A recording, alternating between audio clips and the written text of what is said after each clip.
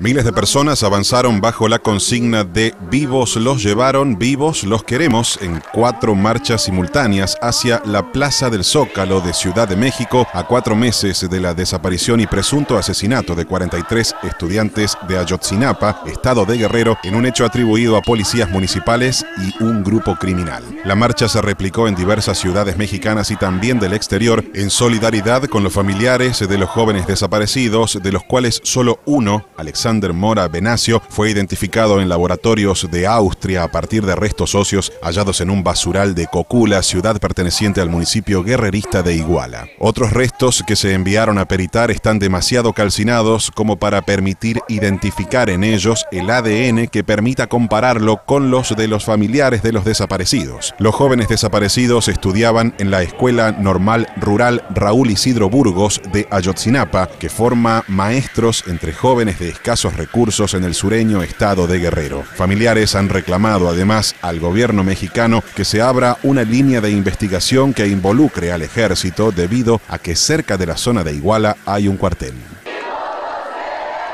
Porque vivos se los llevaron. Si piensan que nos vamos a sentar a llorar, queremos decirle que nos duele en el alma el no poder abrazar a los jóvenes, al no poderlos ver. Pero cada segundo de dolor y de sufrimiento lo van a pagar muy caro.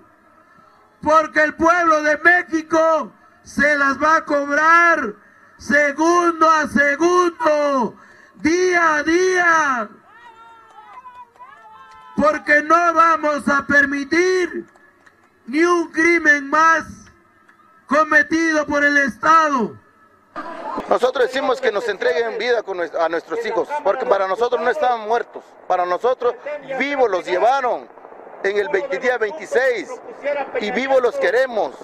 Quieren canjear nuestra vida con la entrega de nuestros estudiantes. Estamos dispuestos a entregar nuestra vida para que ellos, los niños, nuestros hijos se regresen.